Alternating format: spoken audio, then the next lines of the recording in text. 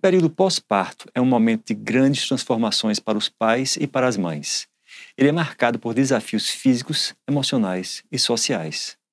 A recuperação física da mãe, que pode incluir dores, fadiga e cicatrização após um parto normal ou cesárea, muitas vezes se soma às novas responsabilidades de cuidar de um recém-nascido. O sono interrompido, comum nos primeiros meses, pode intensificar a exaustão e a irritabilidade. Além disso, as expectativas em torno da maternidade e paternidade podem gerar sentimentos de frustração e insegurança, especialmente quando a adaptação ao novo papel não ocorre de forma imediata.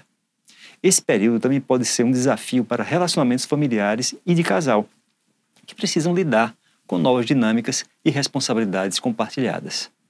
Se é desafiador ter que lidar com essas questões quando você tem que dar suporte a um bebê, imagine então como deve ser precisar cuidar de dois.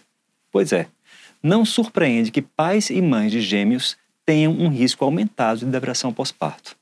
Um estudo recente procurou entender a magnitude e o momento de início desse risco no período pós-parto em comparação com pais e mães de filhos únicos. Os pesquisadores utilizaram uma coorte utilizando os registros nacionais de saúde da Dinamarca. Definiram uma população de estudo composta por pais e mães de todos os nascimentos de gêmeos e filhos únicos entre 1997 e 2019. A depressão pós-parto foi definida como um diagnóstico de depressão ou uma prescrição de antidepressivo resgatada desde o nascimento até um ano após o parto. Dessa forma, a população do estudo foi composta por mais de 27 mil nascimentos de gêmeos e mais de 1 milhão e 300 mil nascimentos de filhos únicos.